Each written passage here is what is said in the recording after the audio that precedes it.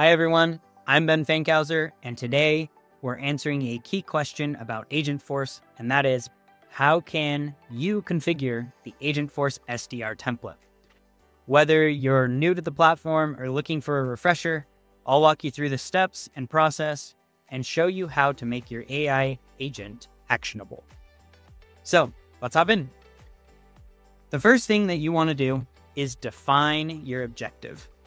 Think about what you want your SDR agent to accomplish, what you want it to do. For example, is it outreach tracking, performance monitoring, or scheduling a sales call? Having a clear goal ensures that your agent serves its purpose effectively. The second thing you want to do is craft the topic.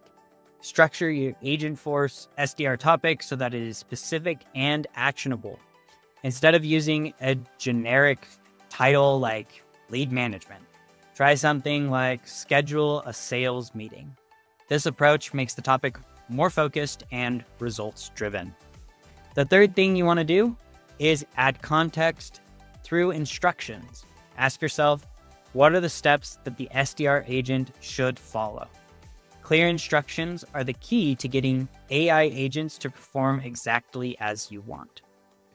And step number four is assign an action. Once you assign an action, your AI agent can do something, can schedule a meeting, can plan something in advance. The fifth thing, and you should always, always do this, is test for good measure. Test the configuration. Okay, now that we have the framework, let's hop in to an example. So here we have our agent builder, and we're going to go into step one. So, step one is defining the objective. I want my AI agent to schedule a sales meeting. So, I have defined my objective.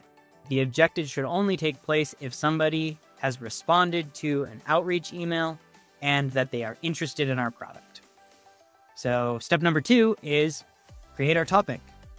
So, I'm going to create a new topic and I'm going to call this schedule a sales meeting. Now you're going to have to classify what this is, give it the scope, and then give instructions. So this will be step three. So let's do the scope and I'm, or the description. And the description is when a client is interested in our services and wants to set up a meeting, you will schedule a meeting. Now we'll go to scope. I want my AI agent to schedule sales meetings for a lead owner by coordinating dates and times with the customer and the lead owner's calendar. Now, instructions. I always want my AI agent to attempt to set the earliest meeting possible if somebody's interested, I want to be on a call or on a meeting with them the next day. Add the next instruction. Uh, I don't want the AI agent to entertain any other uh, conversations pertaining other than the ones pertaining to meetings. The next is I don't ever want to be double booked. So if the lead owner's calendar has something there, I don't want them to double book a meeting. And then the last one, let's say if a user wants to schedule a meeting at a time that the lead owner is not available, give them a couple options and then schedule the meeting accordingly. So those are the actions. Now, those are the topics and instructions. Now let's create an action. Luckily, Salesforce already has a default action and it's called schedule meeting. Send a meeting request. Okay.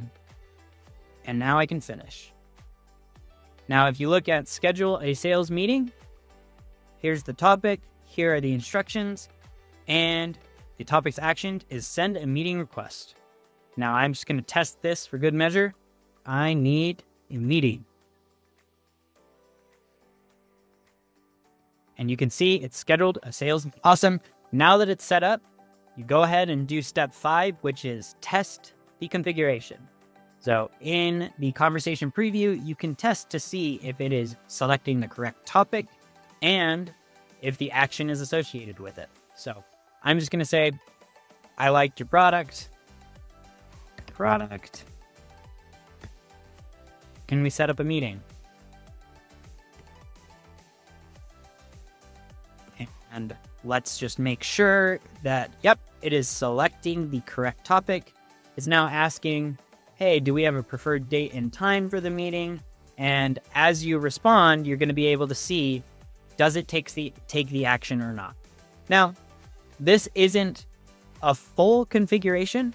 So notice that I've only done one thing. You may need to add a couple other actions to this topic so that it can query a contact record and do other actions. But for the sake of this video, that is how you're going to edit or customize the SDR agent agent template.